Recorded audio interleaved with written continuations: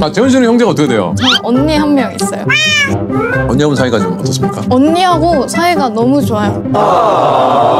어릴 때는 사실 언니랑 6살 차이가 나서 어, 나이차가 꽤 있네요. 나거든요. 그래서 괜찮아. 언니라기보다 뭐 그런 느낌으로 막 혼내고 이렇게 해야 된다 뭔가 언니한테 배운 게 많은데 저도 이제 크면서 언니랑 이렇게 좀 맞아지는 거예요. 그래서 지금은 좀 친구처럼 저 여행도 가고 형제끼리도 그렇지만 자매끼리도 그 옷 때문에 많이 싸우고 한다고 그러는데 재원 씨는 별로 그런 거 없었어요? 아, 옷 때문에 많이 싸웠죠.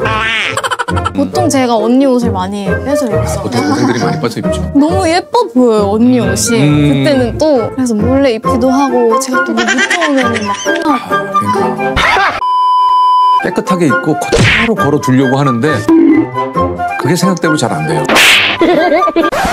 Do you ever look at someone and wonder what is going on inside their head?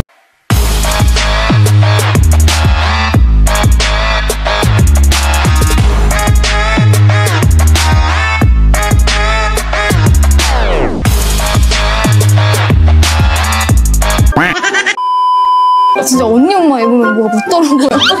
언니는 혹시 뭐 뭘 하고 계신지 여쭤봐도 됩니까? 진짜 평범한 직장 생활 하고 있어요. 진짜 앉아서 하는 어, 회사 동료분들이나 그 동생이 지금 르세라핌 멤버 채원 씨인 거 알고 있어요?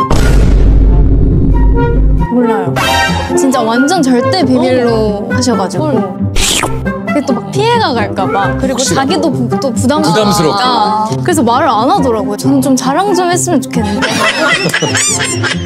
네, 좀 했으면 좋겠는데 언니가 혹시 핑계고 보실지 안 보실지는 잘은 모르겠습니다만 우리 채원 씨는 좋아하겠다. 채원 씨는 좀 자랑 좀 했으면 좋겠대요. 네. 자랑 좀 해봐봐 Oh yeah.